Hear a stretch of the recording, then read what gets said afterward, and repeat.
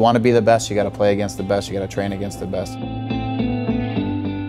We're excited to reach out to the community and provide additional training to what players are already re receiving at their home club.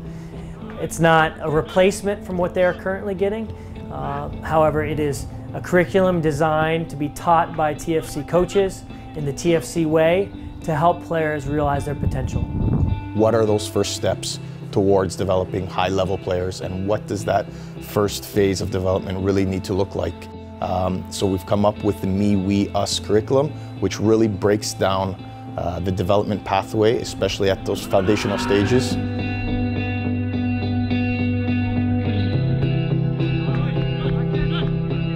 I think within the club environment, it's vital that you put some of your best coaches down in, in those youngest age groups from 7 to 13, where they can again create a foundation for learning for uh, the latter stages.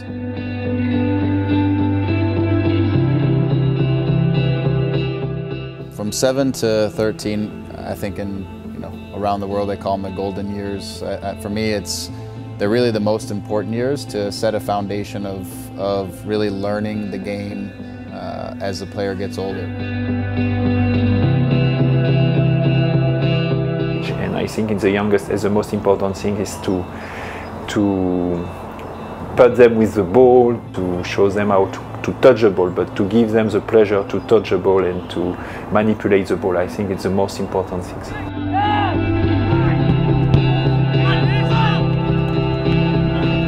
As the kids grow, there's a maturation and there are changes and they're different for every kid. Each month we'll check height and weight and actually shoe size as well looking to find the times when these kids are going through a growth spurt so we can adjust their training program. And that's a huge differentiator, I think, in sport. The idea it's long-term athletic development.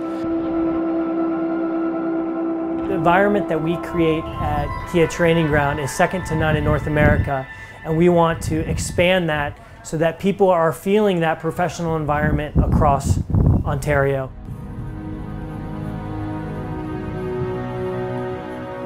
I think the potential of players in uh, North America is huge because you have a lot of different players, especially in Toronto with a lot of different nationalities. If you want to increase the level of uh, uh, the first team as well, it's important to, to work with them as soon as possible.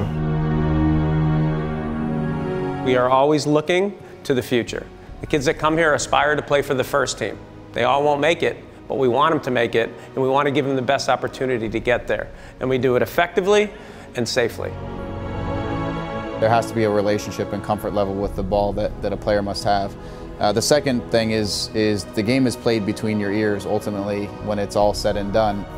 Players have to be, you know, emboldened by their environment, not held back by the environment.